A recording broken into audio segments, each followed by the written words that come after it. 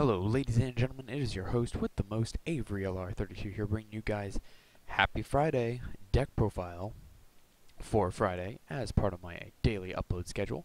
Um, in case you've missed any of the videos from this past week, be sure to check them out on my channel, youtube.com slash AveryLR32.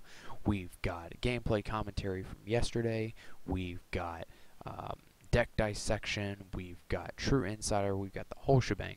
So in case you missed any of those videos, be sure to check out my channel.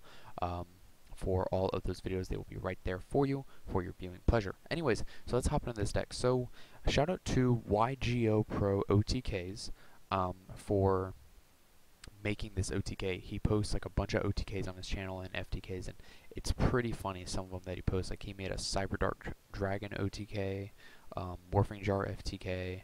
Um, he posted an Armityle the Chaos Phantom OTK. Um, so this is just one of the many others that he has on his channel. This is Dragon Master Knight OTK.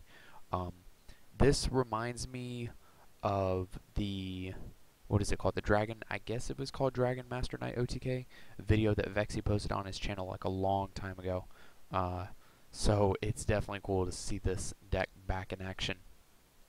And I like the fact that, you know, it uses all these old cards like Polymerization. It also uses the new Blue Eyes support. And it uses Blue Eyes Ultimate Dragon and Dragon Master Knight. Like, come on who doesn't want a 5,000 beat stick or a 4,500 beat stick? Like, come on now, everybody wants that.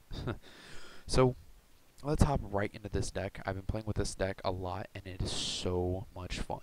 So we have three Blue Eyes, two Prismas, two Manjus, two Goddess with the third eye, two Summoner Monk, three King of the Swamp, two Maxx C, two Maiden with Eyes of Blue, and three Black Luster Soldier. No, you cannot drop this card on the field in any way, shape, or form, so don't ask how. Uh, for the spells, we have one E-Emergency Call, three Polymerization, one Rota, three Trade-In, one Dark Hole, three Dragon's Mirror, and two Silver Cry, and two Megamorph. And then for the traps, we have triple Royal Decree. Typically in OTK decks, you're mostly going to have roll Decrees to shut down that big heavy trap back row. Um, which can also really shut down stun decks and other rogue decks as well, since they're going to be relying on their traps to get rid of your big ass beaters. Uh, so just to just to um, talk about why certain cards are being ran. Prisma, of course, um, you reveal Blue Eyes Ultimate Dragon or Dragon Master Knight, and then you can send either Black Luster Soldier or Blue Eyes White Dragon, depending on what you reveal. Um, King of the Swamp, his effect is that he can be used as substitution for any one fusion material monster as long as all the other ones are the, are the correct ones. Same thing with Goddess with the third eye. Uh, except the only difference between King of the Swamp and Goddess is that you can pitch King of the Swamp from your hand to add a polymerization from your deck to your hand. And then, of course, we all know what polymerization does. That heart of the cards, insert clip of Yugi activating polymerization here. um, and then, of course, we have Silver's Cry because you can just go summon Prisma, reveal Ultimate Dragon, send a Blue Eyes, set a Silver's Cry, and your opponent's just like, WTF are you running with Blue Eyes Ultimate Dragon? They go to summon something and like try and swing with a bunch of monsters, and you just go, no, Silver's Cry, play a big 3000 beat stick. Yeah, bro, I went there. It's my own gateway to Dark World. um, and then Megamorph, of course, is because you drop a Blue Eyes Ultimate Dragon to activate Megamorph. He's going to be 9,000 attack. You play a Megamorph on a Dragon Master Knight. He's 10,000 attack. So right there, already that's an OTK. Um, trade in. Your Black Luster Soldiers are level 8s and your Blue Eyes is level 8. You may think it's inconsistent, but it's really not. Uh, even if these trade-ins are dead in your hand, uh, or even if the Silver's Cry or the Dragon's Mirror, any of these spells are really uh, but most likely the trade in the polymerization Silver's Cry or Dragon's Mirror is dead in your hand. You have Summoner Monk.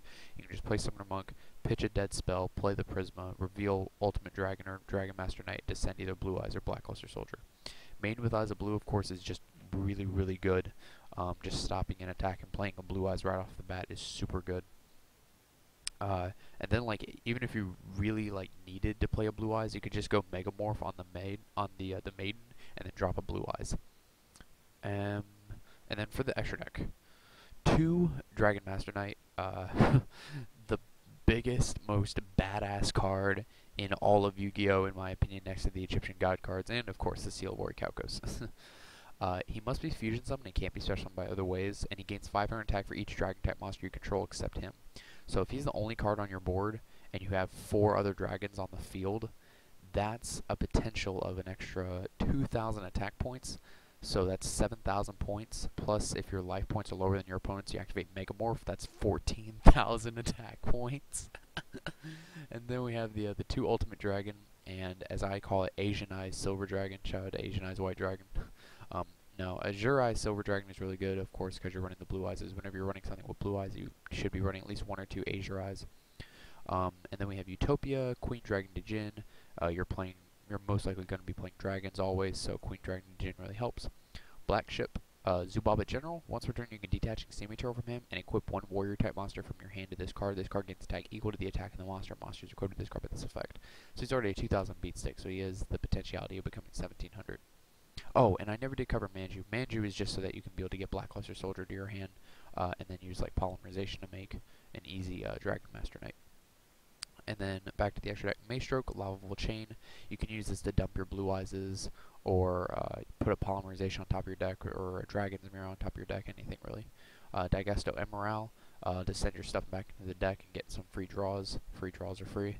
Abyss Dweller, and of course Gagaga Cowboy because it is Cowboy. We love dealing that 1600 points of damage with this effect. So you guys, happy Friday.